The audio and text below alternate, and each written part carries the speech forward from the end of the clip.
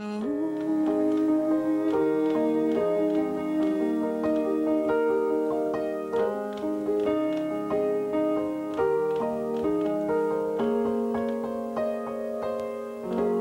your chair like higher than mine? It's because I'm taller than you, Jimmy Jam. What's up with that? You're getting old, baby. Who you telling? anyway, when I met this guy, it was back in uh, 1972, and 72, and what you have to do is you have to put the and in there because it's so long ago. 1972. So Jimmy and I first met at a program called Upward Bound. We were both inducted into the program as peer teachers because we were both extremely good at math. At least I was. I don't know about Jimmy. When me and Terry first met, our influences in music were so different. I was grew up listening to pop music my whole life and just got sort of Seals and Crofts in America. And I was excited when the new Chicago album was coming out, and he was like, no, no, no, you got to get excited when the new Earth, Wind, and Fire's album or the new Tower of Power albums. Jimmy would introduce me to new music, you know, some Chicago or whatever, and I'd introduce him to some uh, New Birth or Parliament because I love the funk side of things. I gravitated towards him because I thought that he was just a cool guy to hang around. There you go. Ditto. I concur. So I asked him, I said, you play keyboards? He said, no, I'm really a drummer.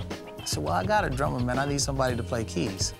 The rest is history. Jimmy Jam is now a keyboard player. I joined the band, Flyte Tyme, and that changed into the time about a year later. So when we got together to try to write, it would always clash. Because I was coming from this pop sense, he was coming from this funk sense. And not until we got into time and really started to perform over and over and consistently did it ever work. Out of that came a lot of what the Flyte Tyme sound initially began to be, which was a heavy funk bottom with pretty pop chords over the top. I think to this day, you know, I call Terry lyric master. I mean, he is the lyric master. Terry's the one that did the vocals on Tender Love, and I mean, he gets great vocals out of out of uh, artists, and I think it's something that Terry really does a great job at. Thank you, Jimmy Jam. thank, thank, you, Jimmy Jam. You're so well.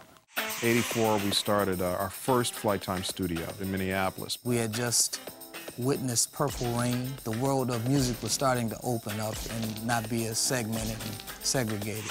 George Jackson and Doug McHenry called us about doing a song for this movie, Krush Groove a lot of hip-hop music and that kind of stuff. But it was kind of surprising because they wanted a ballad. Up to that point, we really hadn't done any ballads, uh, so to speak, but they wanted, a, you know, a love scene in the movie. They said, yeah, we need a ballad. So we basically, when we wrote the song, we wrote the song based on this two and a half to three minute film clip. At that time, we went on a 24-hour schedule to finish the song because we had to have it turned around the next day. We didn't know who was going to sing it. They told us, you know, we'll find somebody to sing it, but just write the song. Force MD flew to Minneapolis. The guys were so extremely talented. And when we started to cut the song, it started coming out so well. I mean, the vocal probably took, what, two hours? I mean, it was a really fast session to do. But no one in their wildest imagination ever thought it was going to be accepted the way it was. One thing that, that I think drives that song that makes it so cool, it's so simple. Um, it's very melodic, very musical, but so simple. If I was a wedding singer, I could sing that song. it's that simple. Let's imagine you're a wedding singer. Sing a few bars. All right. I don't remember. How's the song go, man? No.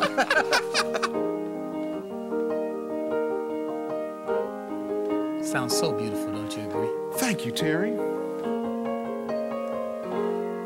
So now, we're gonna do just a little bit, a little rendition of Tender Love, but just a little bit of it because we're writers and producers. We don't really sing, as you will soon learn. Here we go. Here I lay. See, I let oh, Jimmy Jam sing. Oh, come on, man. You got the mic. I, it looks nice on me. Oh, come on. Okay, here we go. Here I lay all alone.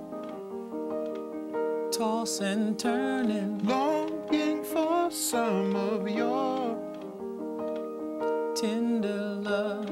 I'm waiting for the moment to come. So I can thank you for all the tender love you've given to me. Tender love. Tender love so tender,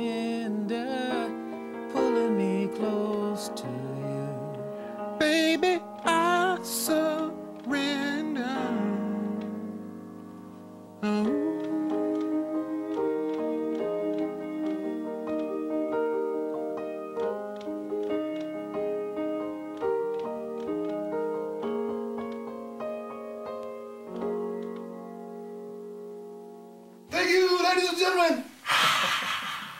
But Tender Love was really kind of that record that everybody said, oh yeah, Jam and Lewis, they can do ballads too. It kind of merged R&B pop culture with hip hop culture really well. It's probably the first singing hip hop song Mm-hmm. that I can think of that was a, a huge pop hit, even before it was an R&B hit. Yep. It was our first top 10 uh, record on the chart, the, the first of, I think, 41 now. Um, so, I mean, it's for a lot of reasons. Yeah, what, I'm Mr. Trivia, right? Right. yeah, I know. They say he knows. Well, from what I remember about Krush Groove, the thing that it had, it that the other movies didn't have, it had a little bit more heart. There was a boy and a girl and musicians and love and turmoil. It was, it was all that life is anyway. So I think a lot of a lot more people related to that. The saying that people have, keeping it real. I think Krush Groove was just keeping it real. And that was a great opportunity for us, boy. We came along at a great time. It was just very, very cool experience.